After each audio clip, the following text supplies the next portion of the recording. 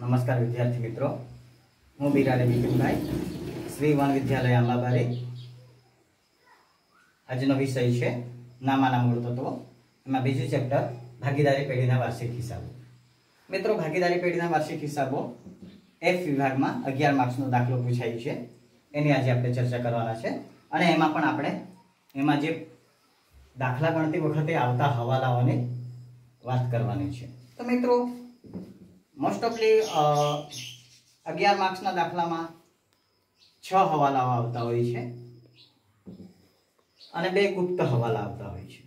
તો આ જે છ હવાલા આવે છે, એની આજે આપણે ચર્ચા કરીએ. મિત્રો અહીંયા જોઈએ તો આપણે પહેલા આવે છે હવાલા, એમાં આખર માલ સ્ટોક. તો આખર માલનો સ્ટોક જે આપેલો હોય હવાલામાં તો એની આપણે નોંધ કઈ રીતે કરવાની છે તે? તો મિત્રો, આખર માલના સ્ટોકની એક તો હવાલાનો. તો આખર માલ સ્ટોક ખાતે ઉધાર, તે વેપાર ખાતે જમા. એવી એની આમ નોંધ થાય છે. પરંતુ જો આ હવાલાને આપણે નોંધવો હોય તો? તો માન લો કે હવાલામાં આપેલું હોય કે આખર માલનો સ્ટોક આખર માલનો સ્ટોક રૂપિયા દસ હજાર. જેની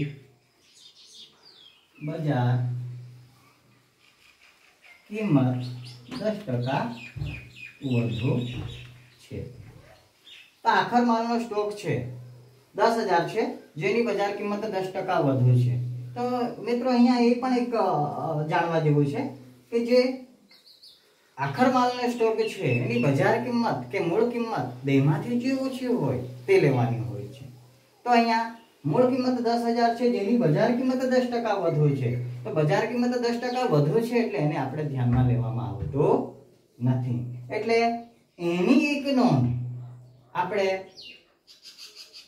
વેપાર ખાતામાં જમા સાઈડે આપીએ છીએ અને બીજી નોંધ પાકા સર્વેમાં મિલકત લેણા સાઈડે આપણે એને બતાવીએ છીએ. હવે બીજા નંબર પર આવે છે ઘાલખાત તો મિત્રો ઘાલખાત તો ઘાલખાત એટલે દેવાદારો પર ઊભી થાય છે. દેવાદારો એટલે કોઈ પણ વ્યક્તિને ગ્રાહકને આપણે માલ વેચીએ છીએ અને એમની પાસેથી પૈસા લેવાના થાય છે. એને આપણે દેવાદારો તરીકે ઓળખીએ છીએ. તો એ ગ્રાહકો આપણને પૈસા પાછા નથી આપતા. માન લો કોઈક દેવાદાર પચાસ હજારનો છે, એ આપણને ફક્ત ચાલીસ હજાર આપે છે અને દસ હજાર આપતો નથી. તો જે દસ હજાર નથી આપતો, એ ચૂકવી નથી શકતો, એને આપણે ઘાલખાત તરીકે ઓળખવામાં આવે છે. તો માન લો કે હવાલામાં આપેલું હોય કે દેવાદારો પર દસ ટકા ઘાલખાત ગણવી. તો માની લો કે દેવાદારો પચાસ હજારના છે. આપણે નોંધીએ કે દેવાદારો પચાસ હજાર રૂપિયા. એના પર દસ ટકા. એટલે પચાસ હજારના દસ ટકા. એટલે કે પાંચ હજાર. તો પાંચ હજાર રૂપિયા આપણને પાછા મળવાના નથી. તો એ દેવાદારોમાંથી બાદ દસ ટકા ઘાલખાલ પાંચ હજાર બાદ કરીને પિસ્તાલીસ હજારની નોંધ કરીએ છીએ. મિત્રો, આ હવાલાની બે જગ્યાએ, હવાલા એટલે બે જગ્યાએ અસર થાય છે. કોઈ પણ બે જગ્યાએ એને અસર આપવી પડતી હોય છે. તો એક અસર પાકા સરેરામાં મિલકત લેણા સાઈડે દેવાદારોમાંથી આ પાંચ હજાર બાદ કરવાના છે અને બહારના ખાનામાં પિસ્તાલીસ હજાર બતાવવાના છે અને બીજી અસર ઘાલખાદ એ નુકસાન તરીકે ગણવામાં આવે છે. એટલે નફા નુકસાન ખાતામાં ઉધાર સાઈડે આપણે એમ જોયું કે નફા નુકસાન ખાતામાં ઉધાર સાઈડે ખર્ચાઓ નોંધીએ છીએ કે નુકસાન નોંધીએ છીએ અને જમા સાઈડે આવક કે ઉપજ નોંધીએ છીએ તો બીજી અસર નફા નુકસાન ખાતામાં ઉધાર સાઈડે આપણે એની નોંધ કરીએ હવે ત્રીજો હવાલો આવે છે ઘસારો. મિત્રો, ઘસારો. ઘસારો જોયું આપણે આગળ. કે કોઈ પણ કાયમી મિલકતો હોય, એ વર્ષો વર્ષ એનો ઉપયોગ થતો હોય અને એ ધીમે ધીમે નાશ પામતી હોય છે. તો મિલકતો પર કંઈ જ નહીં ગણીએ, તો એ મિલકતો આખરે એનું આયુષ્ય દસ વર્ષ હોય તો દસ વર્ષમાં પૂરી થઈ જાય. એટલે નાશ પામે. તો એ મિલકતો ખરીદવા બીજા આપણને નાણાંની જરૂર પડતી હોય છે. એના માટે આપણે ધંધામાં એક જોગવાઈ કરેલી છે ઘસારાની.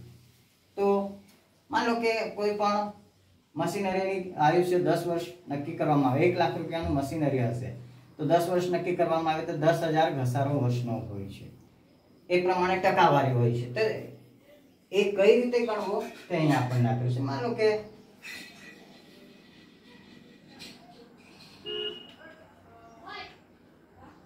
ફર્નિચર પર દસ ટકા ઘસારો ગણવો. માની લો કે ફર્નિચર વીસ હજાર રૂપિયાનું છે. ફર્નિચર માની લો કે વીસ હજાર રૂપિયાનું છે.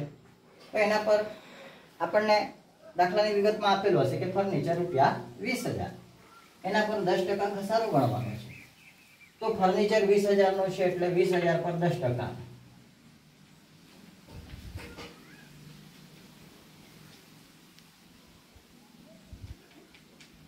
બે હજાર રૂપિયા ઘસારો થાય છે. તો ફર્નિચર એ કાયમી મિલકત છે. અને કાયમી મિલકતો પાકા સર્વે આપણે જોયું કે પાકા સર્વેનો નમૂનો. એમાં કાયમી મિલકતો મિલકત લેણા સાઈડે આપણે બતાવીએ છીએ. જમીન, મકાન, યંત્રો ફર્નિચર પેટર્ન્સ આ બધી મિલકતો.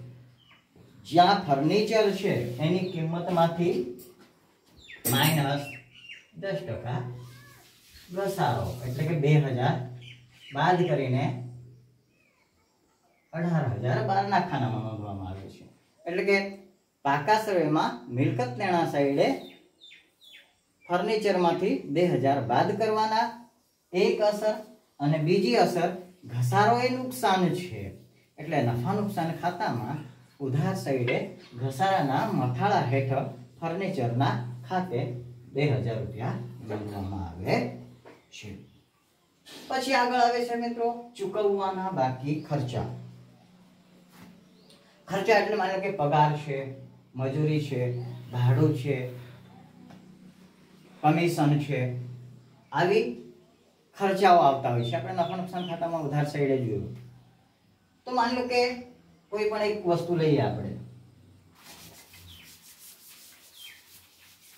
માન લો કે પગાર.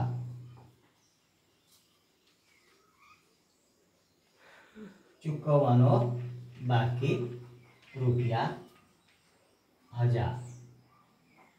હવે પગારનું મથાળો આપો, આપેલો હશે. હવાલા એટલે બે અસર થાય. તો પગાર માની લો કે પાંચ હજાર છે.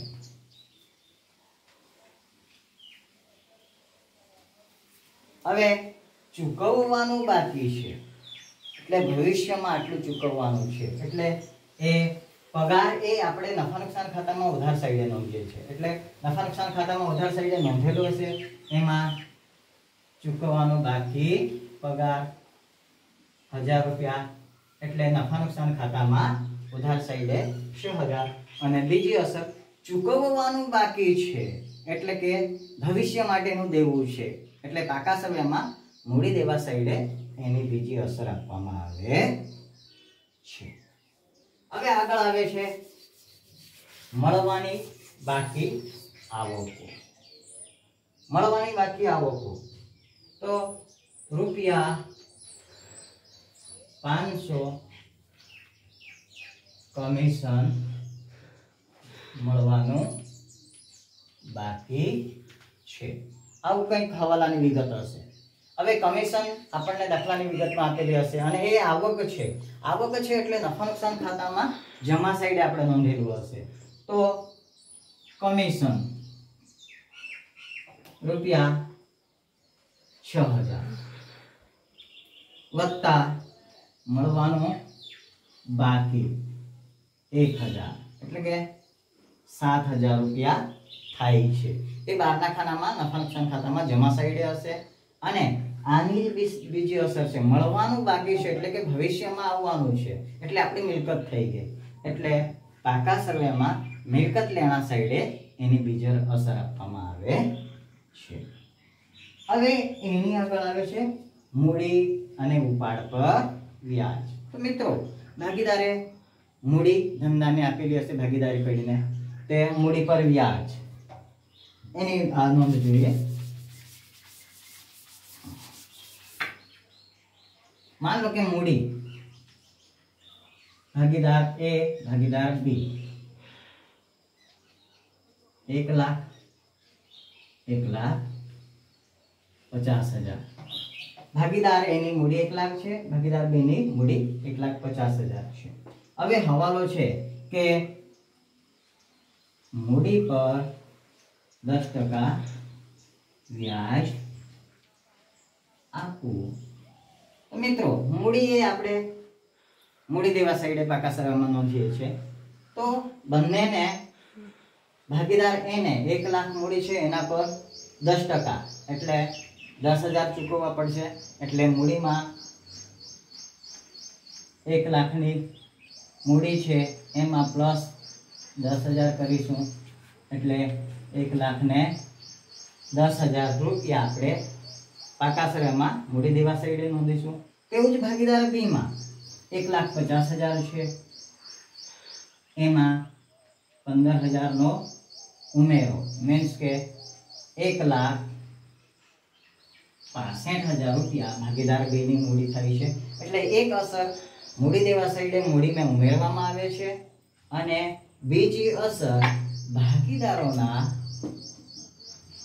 મૂડી ખાતામાં અથવા નફા નુકસાન, ફાળવણી ખાતામાં મૂડી પર વ્યાજ તરીકે બતાવવામાં આવે છે. તો મિત્રો, આ પ્રમાણે જે હવાલાઓ આપેલા હોય છે દાખલામાં, એની આપણે બે બે અસરો આપતા જઈએ છીએ અને વેપાર ખાતું, નફા નુકસાન ખાતું, નફા નુકસાન ફાળવણી ખાતું, મૂડી ખાતું અને પાકું સર્વે બનાવીને આપણે અગિયાર માર્ક્સનો દાખલો પૂરો કરીએ. છીએ તો મિત્રો આ પ્રમાણે આ હવાલાઓ આપણે અસર આપતા હોઈએ